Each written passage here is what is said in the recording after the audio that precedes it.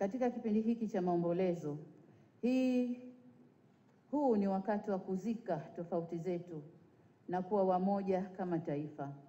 Ni wakati wa kufarijiana, kuoneshana upendo, udugu wetu, kudumisha amani yetu, kuenzi utu wetu, uzalendo wetu na utanzania wetu.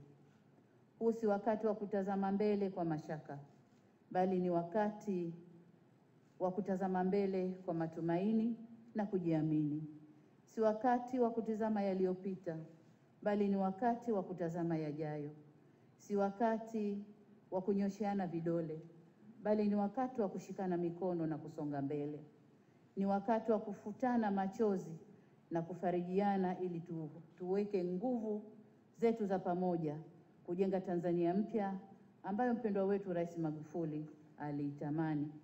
Kama nilivyotangulia kusema awali, leo ni siku ya kusema, si siku ya kusema sana. Ni wakati wa kuomboleza na kutafakari yale yote mema aliyotufanyia mpendwa wetu kipenzi chetu na aliyekuwa rais wetu hayati Dr. John Pombe Joseph Magufuli.